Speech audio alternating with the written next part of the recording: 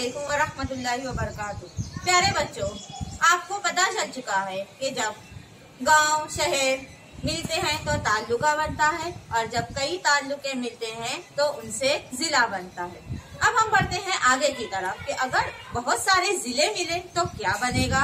शाबाश, जब बहुत सारे अजला मिलते हैं तो इनके मिलने से बनती है रियासत। क्या बनती है? रियासत। तो प्यारे बच्चों, अब हम रियासत महाराष्ट्र के नक्शा का मुताया करेंगे। इस नक्शे में हम देखेंगे कि जिला सॉरी रियासत महाराष्ट्र में कौन कौन से अजला शामिल हैं।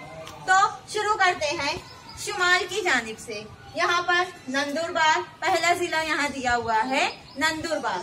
फिर धुलिया, नासिक, थाना, अहमदनगर, पूना, रायगढ़, रत्नागिरी, सतारा सांगली कोल्हापूर सिंधुदुर्ग सोलापूर उस्मानाबाद लातूर परभणी बीड जालना औरंगाबाद बुलढाणा हिंगोली वाशिम अकोला जलगांव धुलिया अमरावती यवतमहल वर्धा नागपुर चंद्रपुर भंडारा गोंदिया और गढ़ चिड़ोली ये तमाम अजला रियासत महाराष्ट्र में आते हैं।